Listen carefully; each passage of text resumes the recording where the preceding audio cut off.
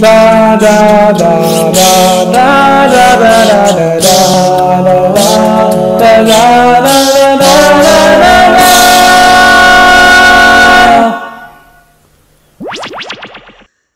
Hey everybody, this is Jonathan E. 2004 Productions here, and um, this video is going to be different than normal because um, there's actually a problem with Minecraft Pocket Edition.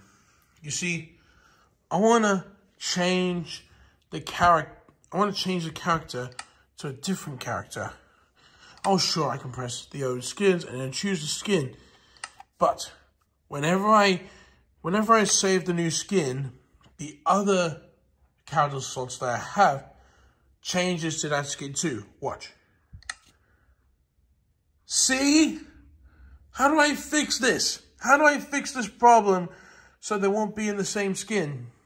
See, I'll show you again.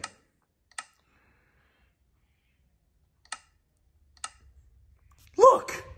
They, the other slots have changed character. How can I fix this? Please let me know in the comments down below. Thank you.